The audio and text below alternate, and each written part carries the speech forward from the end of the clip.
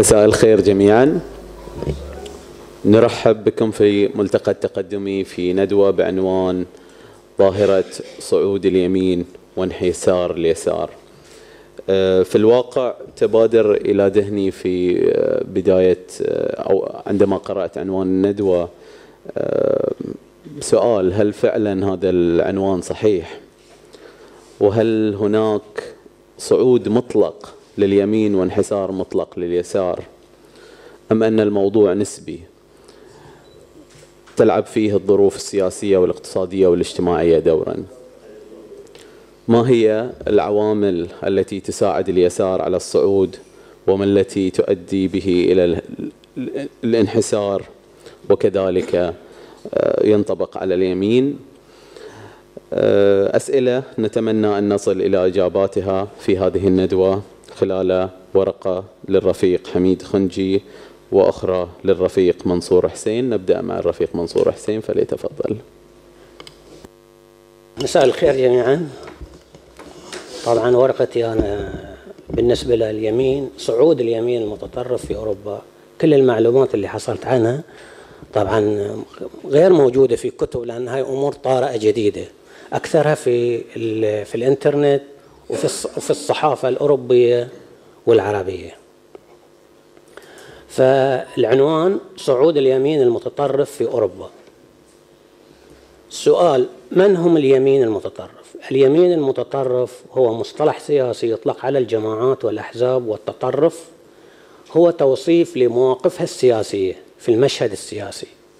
والفرق بين اليمين التقليدي أو المعتدل واليمين المتطرف أن اليمين التقليدي الليبرالي أو ما يسمى المعتدل يسعى للحفاظ على الحقوق والحريات والتقاليد وحماية الأعراف داخل المجتمع. والثاني اللي هو المتطرف كذلك ولكن الاختلاف يكمن في أن اليمين المتطرف في مواقفه يدعو للتدخل القسري واستخدام التشريعات واستخدام العنف للحفاظ على تلك التقاليد والأعراف في المجتمع الأوروبي المتمسك بها. لذلك أن اليمين المتطرف في أوروبا يتصف بالتعصب القومي لجنسه والتعصب الديني ومعاداة المهاجرين من المسلمين وغيرهم من الشعوب الأفريقية والآسيوية حيث يرى أن ما يحدث من جرائم وسرقات هو سبب زيادة الهجرة وأن لدى المسلمين والأجانب عام عادات وتقاليد جاءوا بها من بلادهم الفقيرة. إلى أوروبا وأن هذه الأحزاب اليمينية المتطرفة ترفض دخول مثل تلك العادات إلى بلدانهم الأوروبية.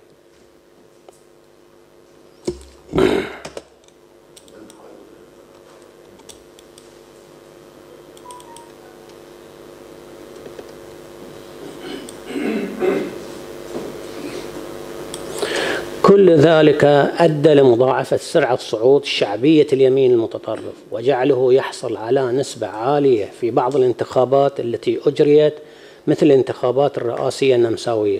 وكما يقول بعض الأوروبيين فإن أوروبا تبدأ بالنفس بالنمسا.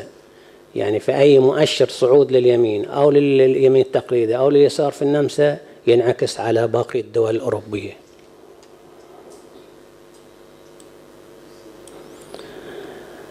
في آه، عندنا بانوراما اليمين المتطرف في أوروبا يعني اليمين المتطرف ومساحتهم الموجودين متواجدين في داخل الدول الأوروبية. فعندنا اولا النمسا. في النمسا برز رجل سياسي يميني متطرف إلى انتخابات الرئاسه وهو نوبورت هوفر من حزب الحرية. حزب الحرية طبعا حزب هاي معروف عنه أنه حزب متطرف. المعادي للمهاجرين. في الجولة الأولى للانتخابات في أبريل 2016 حيث حصل على 35% من الأصوات. ولكن استطاع ألكسندر فان دير بيلين انتزاع الفوز في اللحظات الأخيرة ولكن ما لبث أن أبطلت المحكمة الدستورية العليا نتيجة الانتخابات في الأول من يوليو وبذلك ستكون إعادة الانتخابات. والمتوقع أن هناك فرصة كبيرة للمتطرفين اليمين يفوزون. عندنا بولندا. في الانتخابات البرلمانية التي عقدت في 2015 حصل حزب القانون والعدالة اليميني على نسبة 39% من الأصوات والتي مكنته بقوة لأن يدخل في الحكومة المشكلة. المجر. سيطر حزب فيديس وفيكتور أوربان اليمينيين على آخر ثلاثة انتخابات يعني ثلاثة انتخابات متتالية دائما يفوزون فيها مما جعل بعض الدول الأوروبية تتهم النظام المجري بالشمولي يعني النظام المجري الشمولي الديمقراطي دائما اللي يفوزون فيه هم الجناح اليميني المتطرف. حزب جوبيك اليميني استطاع في انتخابات 2014 المتطرف المعادي للمهاجرين من الحصول على 20% من الأصوات في الانتخابات البرلمانية مما جعله ثالث أكبر الأحزاب في المجر. والجدير بالذكر أن الحزب يدعو إلى إجراء استفتاء حول عضويته في الاتحاد الأوروبي. معظم الأحزاب اليمينية مشكلين مشكلة في, في الاتحاد الأوروبي في جميع الدول الأوروبية. دائما في حفلات في الحملات الانتخابية ينادون بالخروج من الاتحاد الأوروبي. السويد. في سبتمبر 2014 تمكن الحزب الديمقراطي اليميني المتطرف في الانتخابات في سبتمبر 2014 من الحصول على نسبة 13 من الأصوات في الانتخابات البرلمانية ويدعو الحزب إلى وضع قيود كبيرة على الهجرة وإجراء استفتاء حول عضوية السويد في الاتحاد الأوروبي. كلهم ينادون الخروج من الاتحاد الأوروبي. اليونان حزب الفجر الذهبي اليميني يعتبر من أبرز الأحزاب اليمين المتطرفة في اليونان الذي تأسس هذا الحزب عام 1980 يعني مو عريق في 2012 دخل البرلمان ب 18 مقعدا. وقد وصفه المجلس الأوروبي لحقوق الإنسان في 2013 بالنازي الجديد حيث له نظرة متشددة تجاه المهاجرين ويرى أن الاتحاد الأوروبي سبب دمار اليونان. فرنسا تأسس حزب الجبهة الفرنسية القومي عام 1972 ويترأسه حاليا مارين لوبان. يتبنى هذا الحزب الخطاب العدائي تجاه المهاجرين ويسعى لتقليل الإعانات للمهاجرين مثل الرعاية الصحية. ودعت رئيسته لإجراء استفتاء حول عضوية فرنسا في الاتحاد الأوروبي بعد الاستفتاء البريطاني الأخير. يعني إذا بريطانيا صوت معظم الشعب للخروج الآن مطروح أيضا في أكبر دولة أوروبية وهي فرنسا بعد ألمانيا بالخروج من الاتحاد. حصل الحزب على 27 من الأصوات في الانتخابات البرلمانية التي عقدت في ديسمبر 2015 ومن المتوقع مشاركة مشاركة لوبان في الانتخابات المزمع عقدها في 2017 طبعا هاي لوبان هو زعيم المتطرفين. في مارس 2016 تمكن حزب البديل الألماني من الحصول على نسبة 25% من الأصوات في الانتخابات الولايات رغم أنه قد فشل سابقا في الحصول في 2013 على أي مقاعد في البرلمان إلا أنه من المتوقع أن يكون أول الأحزاب اليمينية المتطرفة التي تصل للبرلمان الألماني منذ الحرب العالمية الثانية وذلك بعد استطلاعات للرأي أظهرت حصوله على من 10 إلى 12% أما عن حركة بيجيديا التي تدعي, تدعي بأنها حركة, حركة مواطنون أوروبيون ضد أسلمة الغرب وقد نظمت العديد من التظاهرات المعادية للمهاجرين المسلمين واللاجئين وتم اتهامها في أكثر من حادث عنف ضد المسلمين اللي هو حركة بيجيدا بريطانيا حزب الاستقلال البريطاني يعتبر هذا الحزب من أبرز الأحزاب اليمين المتطرفة في بريطانيا الذي تأسس في عام 1993 كحزب معارض للاتحاد الأوروبي وتمكن في 2014 من الحصول على أول مقعد له في البرلمان وتمكن من الحصول على أعلى الأصوات في الانتخابات البرلمان الأوروبي في بريطانيا. وتشير العديد من التقارير إلى ارتفاع شعبية هذا الحزب خاصة بعد خروج بريطانيا من الاتحاد الأوروبي ومن المتوقع أن يحصد المزيد من المقاعد في الانتخابات المقبلة ما هي الجهود المبذولة لمواجهة اليمين المتطرف في أوروبا؟ تشير التوقعات إلى أن أحزاب اليمين المتطرف في سبيلها نحو تحقيق المزيد من المكاسب خلال انتخابات برلمانية كانت أو رئاسية وسيكون كل تركيزها على الأقليات والهجرة والتدهور الاقتصادي في حملاتها الانتخابية. ويمكن القول أن الجهود المبذولة لمواجهة اليمين المتطرف في أوروبا تنحصر في أمور أولها تجاهل الحركات والأحزاب اليمينية لهذه القوى يعني الأحزاب اليمينية الأصيلة التقليدية آه، تخطط وتقوم بأنشطة معادية لهذه المتطرفين وتحاول تتجاهلهم في جميع المناسبات اللي اللي تعملها. أي مناسبة سياسية أو مهرجان أو خروج في مظاهرات يتجنبون دعوة الأطراف المتطرفة هذه. وهو ما قوبل بمسيرة يعني في قاموا بمقابلة أولا تجاهلت الحركات والأحزاب اليمين لهذه القوى والأحزاب مثل الذي حدث بعد اعتداءات باريس في عدم دعوة حزب الجبهة الوطنية اليميني لمسيرة الوحدة ضد الإرهاب وهو ما قوبل بمسيرة مقابلة من هذا الحزب بزعامة مارين لوبين في تأكيد أن هذه الوحدة المزعومة ضد الإرهاب ليست كاملة بدونهم. ثاني ثانيا التركيز والتشهير على الخطاب اليميني المتطرف. هاي يعني كيف إحنا نواجههم؟ نقوم بحملة تشهير بمواقفهم. ثانيا التركيز والتشهير على الخطاب اليميني المتطرف وانتقاده تجاه أفكاره المعادية لتعددية للتعدي وضد الاحترام الآخر ولأنه ضد الديمقراطية. ثالثا فضح مواقف هذه الأحزاب تجاه الأحزاب اليمين المتطرفة من أجل تحجيم الأحزاب المتطرفة وتفكيك القاعدة الشعبية لهذه الأحزاب اليمين المتطرفة. خامسا ما هي تداعيات صعود اليمين المتطرف على المستقبل الأوروبي؟ يعني لو صعدت هذه في المشهد السياسي وسيطرت ماذا يكون موقفها أو أثرها على الاتحاد الأوروبي؟ التأثيرات المترتبة على صعود اليمين المتطرف في أوروبا تتركز في أربع نقاط. أولهما تأزم أوضاع الأقليات في أوروبا وخاصة المسلمين. إذا جو اليمين وصاروا حازوا على الأغلبية في البرلمان في كل بلد من هاي البلدان أول ما يواجهونه هما المهاجرين سواء كان مسلمين أو أفارقة أو آسيويين.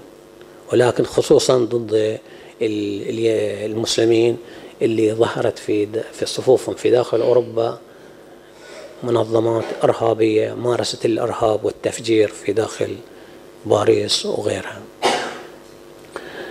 تأزم أوضاع الأقليات بأوروبا وخاصة المسلمين. ثانيهما زيادة نزعة الانفصال عن الاتحاد الأوروبي وخاصة بعد خروج بريطانيا. هذه الأحزاب كلها هذه الأحزاب اليمين المتطرفة كلها في حملات الانتخاب في جميع هاي البلدان الأوروبية دائما يدعون الشعب إلى الانفصال عن الاتحاد الأوروبي. هذا يؤدي النتيجة الرابعة إلى تفكك الاتحاد الأوروبي وانتهى. رابعا إضعاف الاتحاد أو إعادة هيكله. إذا ما قدروا يلغونه راح يضعفونه ويعيدون هيكلة الاتحاد وتعديل سلطاته. لأن الاتحاد الأوروبي هو الآن يعتبرون الأحزاب المتطرفة وبعض الحركات أن كأن حكومة مركزية في أوروبا سلبت الاستقلال الوطني من الدول الأوروبية. صارت هي المهيمنة. على القرارات الاقتصادية القرارات التجارية. أي دولة تبغي تعقد عقد تجاري مع دول أخرى في العالم لازم يمر عبر هاي المجلس اللي هو يسمونه يوروبيان كوميشن لازم يصادق عليه هذه أو يعدل فيه ثم يسوي ratification عليه.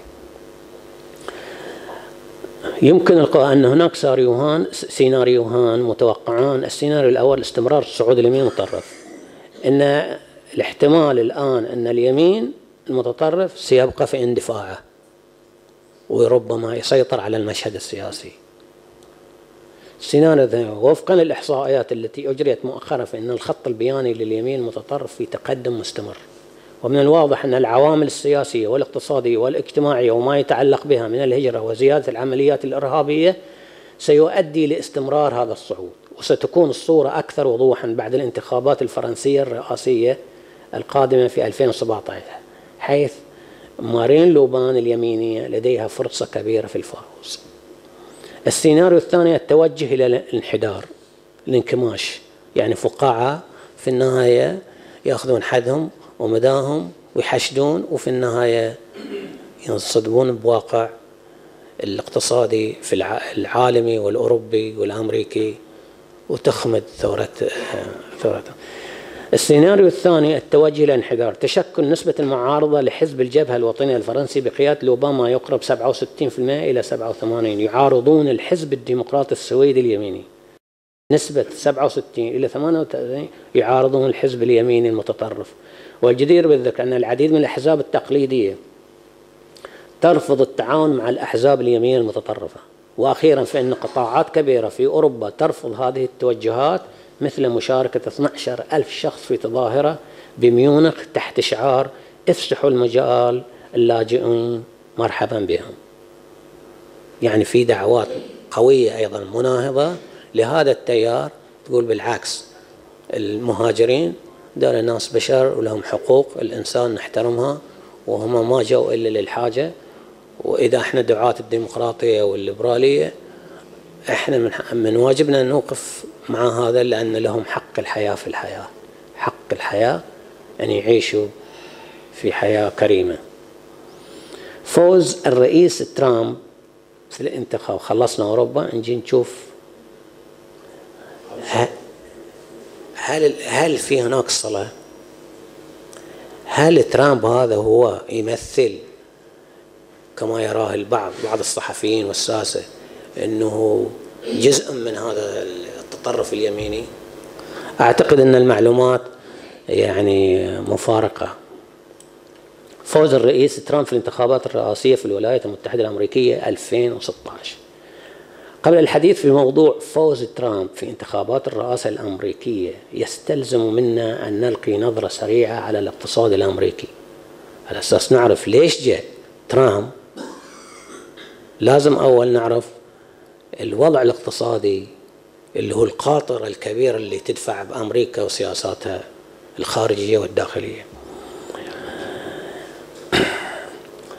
سريع على الاقتصاد الأمريكي الذي كانت آه، قبل الحديث في موضوع ترامب نلقي نظرة سريعة على الاقتصاد الأمريكي الذي به كانت آه، تحظى أمريكا بأكبر اقتصاد في العالم. إلا أنها أصبحت أكبر دولة مديونة. نتيجة حربها في فيتنام وأفغانستان والعراق وتدخلاتها في شؤون الدول الأخرى مثل الدول أمريكا اللاتينية ودول الشرق الأوسط ونتيجة للأزمة الاقتصادية التي أضرت بالاقتصاد في عام 2008 واستمرار آثارها على الاقتصاد الأمريكي. خلينا نشوف الاقتصاد الأمريكي لقطة شوية. علشان بنقول شنو ليش ترامب جاء؟ توقع صندوق النقد الدولي مؤخرا أن يتخطى الاقتصاد الصيني نظيره الولايات المتحدة بحلول عام 2016 هذا العملاق المسيطر على العالم اليوم جت الصين راح تأخذ محله. وكانت الهيئات والمنظمات الأخرى في العالم مثل البنك الدولي وجامعة بيل الأمريكية والأكاديمية الصينية للعلوم الاجتماعية قد توقعت في السابق تحقيق هذا التجاوز اللي هو تعدي الصين على الاقتصاد الأمريكي في 2020 متوقع و2027 و2030 الجدير بالذكر أن صندوق النقد الدولي أعلن في تقرير جديد للاقتصاد العالمي يعتمد على أساس تعادل القوة الشرائية يعني ال unit value وحدة الشرائية في ما بين البلدين بين أمريكا والصين.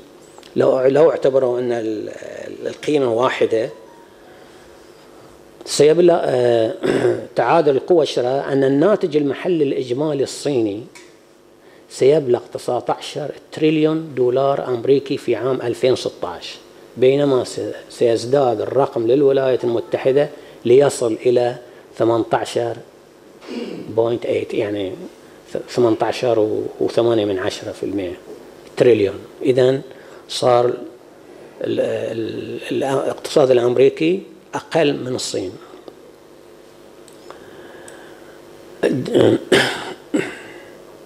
من جهته قال آرفيند سوبرامانيان في مقالته التي نشرت في صحيفة الشرق الأوسط السعودية في 3 مايو الجاري أن الاقتصاد الصيني في عام 2010 والمعدل في ضوء القوة الشرائية قدر بنحو 14 تريليون وفاصلة ثمانية تريليون دولار متخطيا اقتصاد الولايات المتحدة. فهل في حقيقة الآن باتت الصين أكبر اقتصادا عالميا في العام الماضي؟ أو أنها ستصبح أقوى اقتصاديات العالمية بعد خمسة أعوام؟ أما أن تلك التوقعات ليست سوى لعبة أرقام؟ يبدو أنها أهم شيء هنا ويهم الجميع دول العالم هو ماذا سيحدث إذا تجاوزت الصين الولايات المتحدة؟ من حيث حجم الاقتصاد الإجمالي في المستقبل. هاي طبعا تحذير سبوتنيك. الدين العام. إحنا عشان نفهم شلون جاء ترامب لازم الدين العام الأمريكي هو مجموع الدين العام المقرر على الحكومة الاتحادية وهو جملة السندات الضمان الضمان المملوكة لأطراف خارج الولايات المتحدة إلى جانب سندات الضمان اللي تصدرها وزارة الخزانة الأمريكية. والمملوكة لأطراف داخل الولايات المتحدة. ولا يشمل هذا الدين سندات الضمان التي تصدرها الحكومة الحكومات المحلية وحكومات الولايات. يعني لو نجمع نضيف اللي تصدر الولايات والسلطات المحلية في هذه لكان أصبحت دولة مفلسة. مقدار الدين العام الأمريكي قد فاق الدين العام للولايات المتحدة الأمريكية أرقام 2011 حاجز 20 تريليون دولار أمريكي وهو ما يناهز 98% من الناتج المحلي الإجمالي. يعني كأنه ولا شيء. اقتصاد ميت ما ما في شيء. يبلغ نصيب الجهات الخارجية من هذا الدين يعني الأجانب اللي سلفوا أمريكا مثل الصين اليابان حتى روسيا الهند بريطانيا الولايات المتحدة أصدر السندات وهم اشتروا السندات يعني هم سلفوها. في أي وقت يجون يحضرون هاي السندات يستلمون مبالغهم. فهل أمريكا تفي بهاي المبالغ؟ 98 من الناتج يبلغ نصيب الجهات الخارجية 9.7 تريليون دولار أمريكا أما الباقي ومقداره 4.6 تريليون دولار فهو لأطراف داخل الولايات المتحدة كحكومات الولايات والحكومات الاتحادية. وما يمثل هذا الرقم على كل مواطن أمريكي مدين يعني إذا أخذنا الدين وقسمناه على عدد السكان يطلع عندنا كل مواطن أمريكي مديون بستة وأربعين ألف دولار أمريكي. منها ثلاثين ألف دولار أمريكي من نصيب دول العالم. أما حين يفسر الدين العام الأمريكي على عدد دافئ الضرائب الأمريكي فهذا يعني أن حصة كل واحد منهم قرابة 129 ألف دولار أمريكي. ووفقا للوتيرة الحالية فإن هذا المبلغ يزداد 3.85 مليار دولار يوميا يوميا يوميا يتراكم الدين. وتتيح وزارة الخزانة الأمريكي للراغبين الفرصة للمساهمة في تقليص الدين الأمريكي عبر التبرعات. أصبحت الدولة تستلم تبرعات من المواطنين. التبرع على موقع وزارة بإرسال شيكات إلى عنوان الوزارة بواسطة البريد. وقد حان هذا التدهور في أرقام الاقتصاد الأمريكي وقد حدا هذا التدهور في أرقام الاقتصاد الأمريكي إلى مؤسسة موديز للتحليلات المالية إلى تقديم إنذار للولايات المتحدة من خفض وشيك في درجة الملاءة الملاءة مما سيكبدها سعر فائدة أعلى من ذي قبل حين تضطر إلى الاستدانة. يعني الأمريكا الآن وصلت مستوى ما تقدر تدين وكذلك فعلت مؤسسة ستاندرد أند بروز وتواجه الولايات المتحدة التحدي إعلان إفلاسها. وتدهور قيمة الدولار الأمريكي. إذا لم تتمكن إدارة الرئيس باراك أوباما رفع سقف الدين العام الذي يخولها الاستدانة لإعادة ترتيب عمليات السداد. علشان تسدد اللي مسلفينها لازم هي بعد تدين مرة ثانية. يعني هي تدفع آه، ديون من التسليفات الجديدة بس الحين بس عليها بس الحين الحين خلينا نشوف انجيل هذه. تصاحب آه، بهذه القراءة المختصرة عن الدين العام الضخم الذي تعاني منه الولايات المتحدة الأمريكية تساعدنا على معرفة أسباب لجوء القيادة العليا في الكونغرس أو ما يسمى المالية العامة التي ترعى وتهتم بشؤون اقتصاد الدولة التي هي ملتزمة بمعالجة هذا الخلل في ميزان المدفوعات والعجوزات المالية الضخمة. هؤلاء المجموعة الأوليغاركية المدافعين عن تلك السياسات العشوائية والخرافات السياسية الأمريكية الداخلية والخارجية. يعني أمريكا تبنت استراتيجيات وهمية. بيحتلون هالشعوب بيروحون هالدولة يسيطرون عليها. وكلها أوهام خرافات في النهاية ناسين أن الشعوب لها إرادات وتستطيع تقاوم آه، سياساتهم. والخرافات في السياسات الأمريكية والداخلية والخارجية مثل تنفيذ خطط استراتيجية للسيطرة على العالم وإخضاع الشعوب واقتصادياتها لهيمنة الأمريكية عبر فرض العولمة واختراق اقتصاديات الدول وإلغاء نظام الحماية التجارية. ومن أمثلة هذه الخطط التآمرية مشروع الدكتور برنارد لويس عام 1980 الذي يهدف إلى تغيير خارطة معاهدة سايكس بيكو وتقسيم الدول العربية إلى دويلات على أساس قومي وطائفي وعرقي. أضف إلى ذلك أوهام هنري كيسنجر اليهودي الصهيوني ووزير الخارجية سابقا وهرطقات هنتكتون حول صراع الحضارات. متناسيا تلك القيادة العليا للرأسمال العام في أمريكا إرادة الشعوب الحية وإصرارها على حريتها واستقلالها الوطني ووقوفها في مواجهة السياسات الإمبريالية التي يمارسها عصابة الكونغرس الأمريكي ضد شعوب العالم وبدعم سافر من دول الاتحاد الأوروبي. ونتيجة نتيجة لهذا الفشل فشل معظم هذه السياسات الاقتصادية والسياسية الأمريكية والتدخلات العسكرية التي تسببت في قتل الآلاف من شعوبها وآلاف المعاقين والمرضى نفسيا من الحروب في فيتنام وأفغانستان والعراق وفي حرب الكويت العراقية أدت كلها إلى تعاظم احتجاجات آباء وأمهات القتلى والمصابين والمفقودين.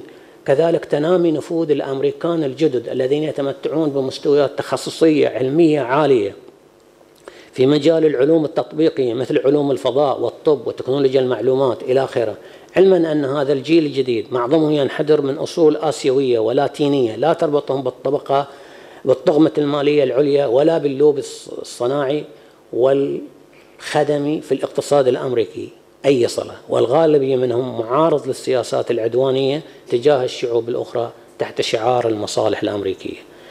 كذلك الهزائم العسكرية والسياسة والسياسية في التدخلات البيت الأبيض لدعم العناصر الإرهابية التي أنشأتها المخابرات الأمريكية بتمويل من دول الخليج في العراق وسوريا وليبيا وذلك باعتراف وزيرة الخارجية الأمريكية هيلاري كلينتون في حملتها الانتخابية لرئاسة للرئاسة الأمريكية.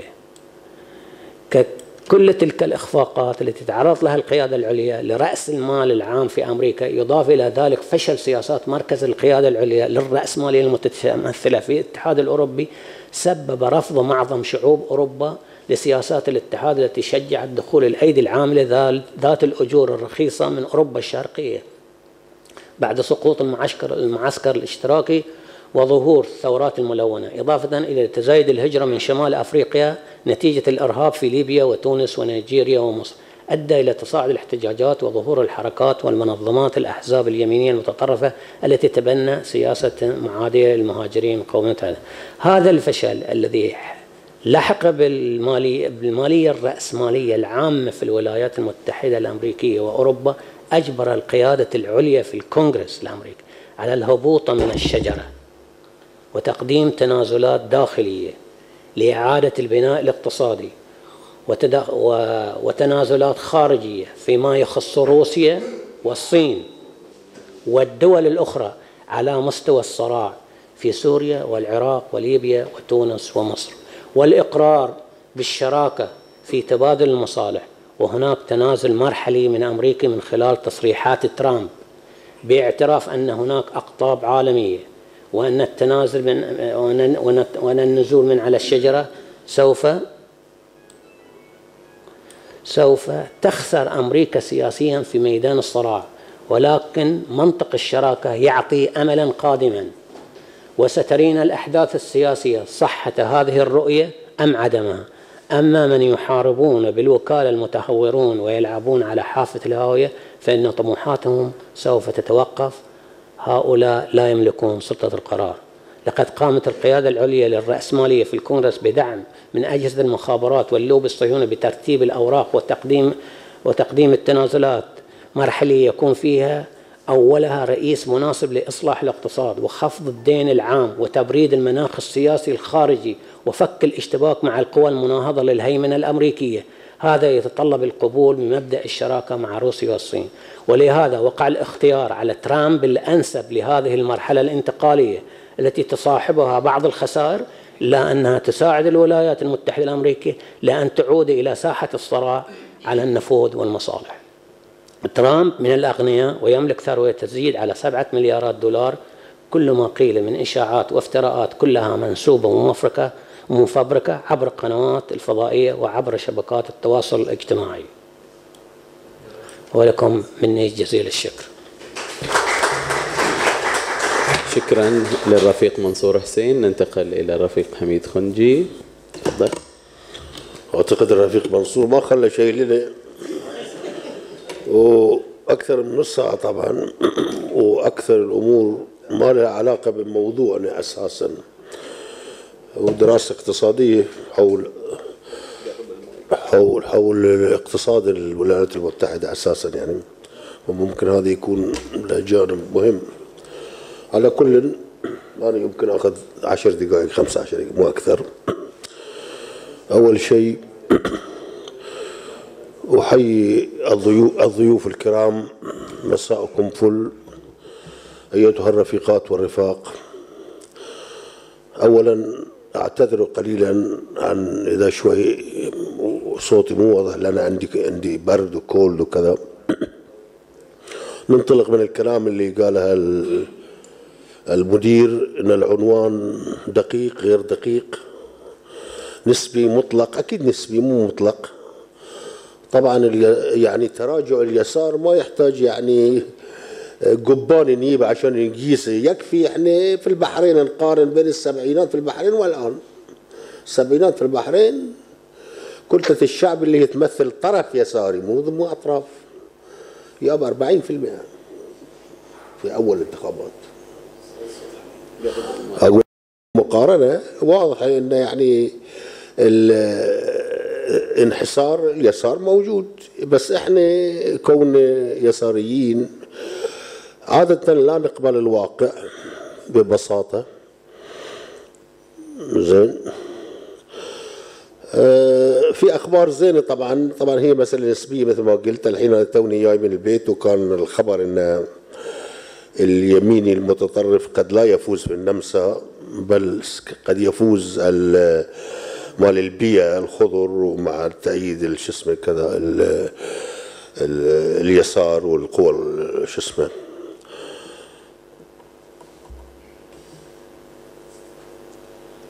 نرجع إلى موضوعنا الأساس المطروح ظاهرة صعود اليمين وانحسار اليسار أسبابها ومعالاتها نبي نعرف الظاهرة شنو أسبابها؟ بس وشنو ممكن يعني نتنبأ شو يصير؟ واضح لا؟ تاريخيا المصطلحان حديثان نسبيا ومعروف للمتابع حادثة جلوس أعضاء الجمعية الوطنية الفرنسية البرلمان من الأرستقراطيين الموالين للملكية والقوى التقليدية المحافظة المسايرة جلسوا على اليمين على يمين يعني التريبيون في شو اسمه وجلوس القوى الحداثية المتمردة والراديكالية على الجانب الأيسر من منصة رئيس البرلمان. هذا حدث في الاجتماع الأول لمجلس الطبقات كان يسمونه ذاك الوقت سنة 1789 ومنذ ذلك الوقت أضحى مصطلحا اليمين واليسار يتعزز استخدامهما في عالم السياسة والعلوم الاجتماعية وكفيصل يقسم القوى السياسية بين تقدمي ورجعي يعني بين يساري ويميني. غير أن للمسألة تفاصيلها الإشكالية التي يجب فهمها بشكل صحيح.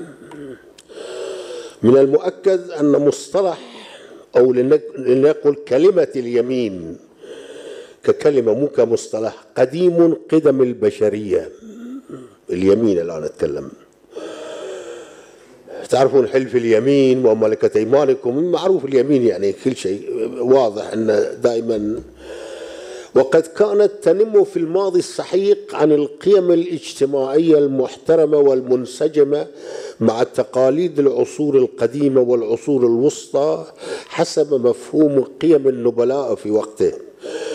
ويجب ملاحظة أن غالبية الناس يكتمون يكتبون باليد اليمنى ويركلون الكرة بالقدم اليمنى وهكذا.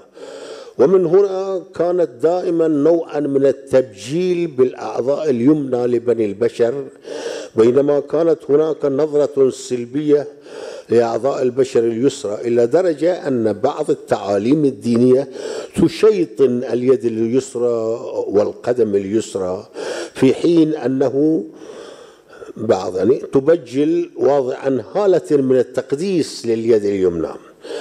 استمرت الأمور هكذا حتى وصولنا إلى العصور الحديثة. حينما حدثت صدفة أو قصدا أنا ما أدري والله. اصطفاف اليمين واليسار في البرلمان المذكور اللي تكلمنا عنه ومنذ إذ دخل المصطلحان القاموس السياسي حيث بدا اليسار وكأنه يجسد روح التمرد والثورة على الأوضاع التقليدية المحافظة القديمة. التي صارت يعني الأوضاع تمثل اليمين في مختلف الصعود.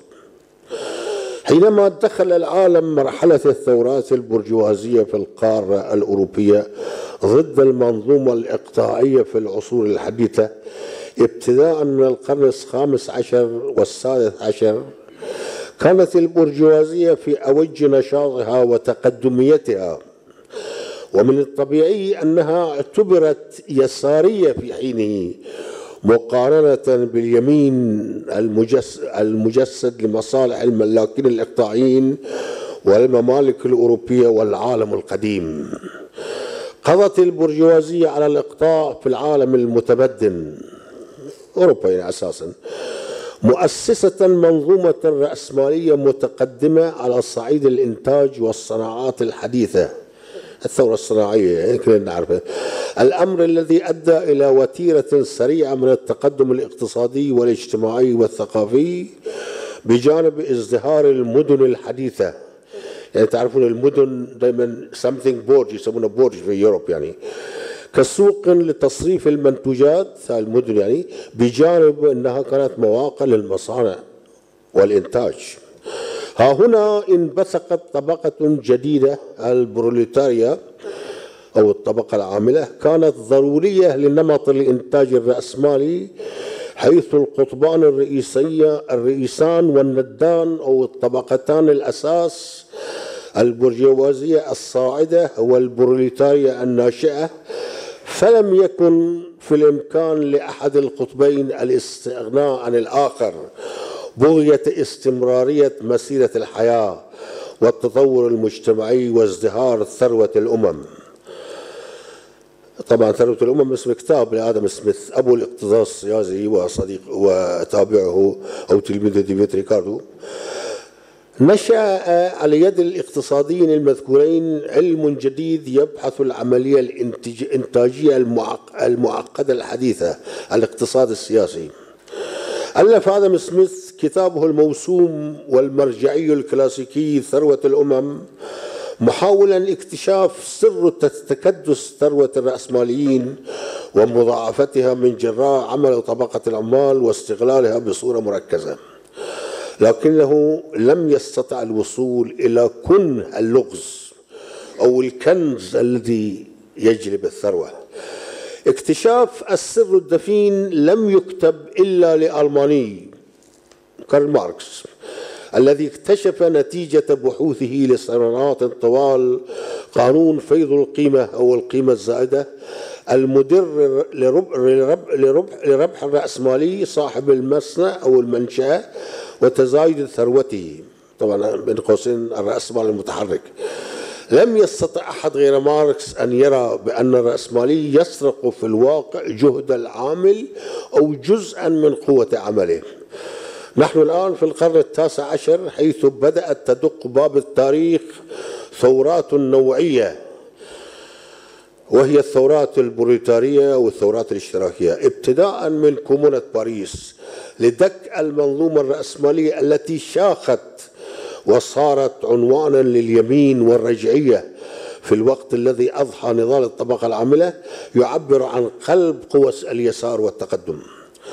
الآن لندخل موضوعنا المطروح للمساجلة والنقاش يعني هاي ممكن نناقش باختصار نتكلم فيه.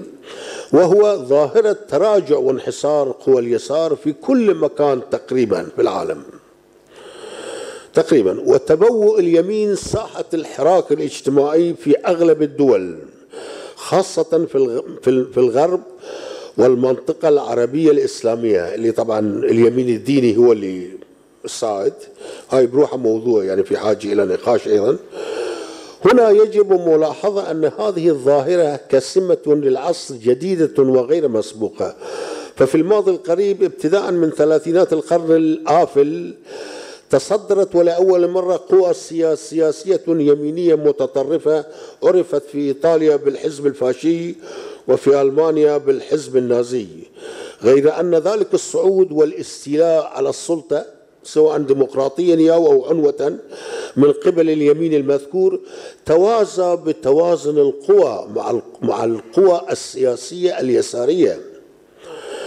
بمعنى أن الظاهرة المستجدة الحالية مفارقة بل ظاهرة غير مسبوقة مقارنة بفترة قبيل الحرب العالمية الثانية حيث اتسمت قوى اليسار بقوة جماهيرية كبيرة.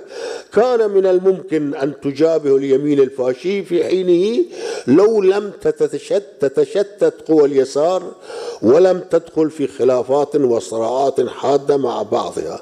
مثل ألمانيا وصعود هتلر. طبعا تفاصيل تعرفونها ان طبعا هتلر فاز بالأغلبية.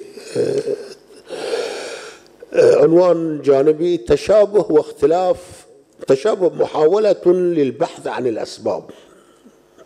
الموضوع اللي إحنا نبي نعرفه يعني. نعم هناك شيء من التشابه بين المرحلتين السالفة والحالية. من ناحية أن الرأسمالية كمنظومة مستبدة ومستغلة. طبعا ما هو المستبدة من قوسين على أساس أنها مو دائما مباشرة مستبدة هي له يعني قراءة ديمقراطي لكن في النهاية هي مستبدة كدولة. لا تستطيع الاستمرارية بدون حروب وتدخلات ويحدث أن القوى البرجوازية وأجنحتها التقليدية عادة والاشتراكية الديمقراطية حينا ونتيجة لتناقضاتها الداخلية تسلم السلطة طواعية لليمين المتطرف للقيام بمغامرات محسوبة أو غير محسوبة النتائج والويلات. بغية القضاء على مكتسبات القوى العاملة وتجديد منظوماتها منظومتها المهترئة كالثعبان الذي يغير جلده على الدوام. هاي بالضبط الرأسمالية المعاصرة يعني. لكن هناك أيضا اختلافا كبيرا بين الفترتين حيث أن الشعار يمينا در الذي نلاحظه في الدول الرأسمالية المتقدمة الغربية الآن ليس بالضرورة انتقال السلطة لليمين الفاشي الواضح بل ليمين محافظ ومتدين أساسا ذو حساسية تجاه النازحين من الإسلاميين والملولين من مناطق عديدة من العالم خاصة المنطقة العربية والشرق أوسطية. هذا سياسيا. أما على الصعيد الاقتصادي فهذا اليمين الجديد يعادي العولمة المالية الحالية وهو أساسا ضد الاتحاد الأوروبي. كما ذكر في قناة يلتقي في هذا اليمين واليسار في هذا المسعى كل لأسبابه. يعني يمين ويسار في أوروبا ضد الاتحاد الأوروبي بالتشكيل الحالي التشكيل الفوقي المستبد يعني. محاولا استعادة مجمع يعني اليمين الآن شنو البرنامج ماله؟ محاولا استعادة مجمعاتها الصناعية من الدول الصناعية الصاعدة كالصين والهند ودول أخرى. هذا على الأقل ما يبدو أنه البرنامج الاقتصادي لترامب. نعم قد تشكل الحكومات اليمينية المتطرفة لو اتحدت بالغرب خطورة على الوضع العالمي المتدهور والملتبس أصلا غير أن سمة الوضع العالمي الحالي هي سمة تعبر عن مرحلة انتقالية موضوعية صعبة. قد تأخذ بعض الوقت حتى يستقر العالم كمنظومة متعددة الأقطاب. حينئذ لابد من مختلف الدول الكبرى أن أن تتفق على الحد الأدنى للمصالح المختلفة للاعبين الكبار خاصة روسيا والصين. يعني مجموعة بريكس وشنغهاي ومجموعات اللي قد تكون في المستقبل. بغية الحفاظ على التوازن الدولي يعني مجبرة القوى. المتشكل من منظومة تعدد الأقطاب الحتمية القادمة. الأمر الذي يصب لا محالة في مصلحة دول التقوم الأضعف قصدي أن لما العالم تحول إلى منظومة متعدد الأقطاب يصير توازن دولي وهذا التوازن الدولي بيكون أكيد لصالح الدول الضعيفة. كلمة حول تراجع وانحسار اليسار. لا يختلف إثنان أن التراجع بعد بدأ مع تفكك المنظومة الاشتراكية وتداعياتها على الصعيد العالمي. الأمر الذي أدى إلى إحباطات مجتمعية وحتى طبقية بمعنى أن هناك تراجعا واضحا في قوة الطبقة العاملة كما وكيفا. يبدو فيه أن هناك عملية إعادة توزيع جديد للعمل وتموضعات طبقية جديدة حيث تتشكل قوى برولتارية جديدة في الدول الصاعدة مع ضمور للطبقة العاملة في الرأسماليات القديمة في أوروبا والغرب يعني. من الطبيعي والحال هذه أن أحزاب الطبقة العاملة الطليعية يعني الأحزاب الاشتراكية والشيوعية والعمالية في تراجع وتهميش. ليس فقط بسبب الجانب الاقتصادي بل نتيجة ضياع بوصلة الديالكتيك. وتراجع النظرة التحليلية العلمية على الصعيد السياسي حيث أضحت الضبابية سيدة الرؤية والتحليل المؤدية إلى عدم الفهم الصحيح لسمة العصر. فمثلا ما زالت غالبية الأحزاب الشيوعية الخارجة من معطف الأممية الثالثة تعتبر أن سمة العصر ما زالت وكما كانت الانتقال من الرأسمالية إلى الاشتراكية. يعني نفس اللي كانوا يؤمنون فيه لما وجدت على السوفيتية الحين يعتقدون إحنا العصر هذه سمته ما زال يعني.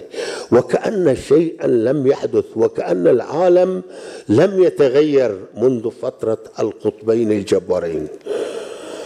المآلات المستقبلية المستقبلية آخر شيء المآلات المستقبلية. لا أحد لوحده وبجهده الذاتي يستطيع التنبؤ بما سيكون عليه العالم في العقود الأربعة أو الخمسة القادمة خلينا نقول سنة 2050 فالوضع العالمي لمعقد إلى درجة أنه يحتاج إلى نقاشات وبحوث لا تنتهي من قبل أصحاب الشأن المعنيين والمنشدين لعالم أكثر عدلا مقارنة بالعالم المتوحش الحالي. أي أن الحاجة تستدعي جهودا جبارة جماعية بغية تقريب وجهات النظر فيما بين القوى الطليعية والتقدمية. الأمر الذي يؤدي إلى عمل مشترك بين تلك القوى في سبيل درء الحروب والتدخلات واستعادة المبادرة والعافية. إن من جهة إعادة القوة والنفوذ السياسيين للقوى الطليعية ذاتها أم من جهة التشكل النوعي الجديد للطبقة العاملة واصطفافاتها على صعيد العالم. هنا يجب أيضا دراسة المتغيرات التي مست بنية الطبقة العاملة وهي بالطبع في حاجة إلى آليات جديدة للنضال للنضالات الطبقية القادمة وأشكال أخرى غير ومبتكرة بغية الولوج الجديد للمجتمعات البشرية نحو منظومة ما بعد الرأسمالية يعني الاشتراكية. شكرا على استماعكم.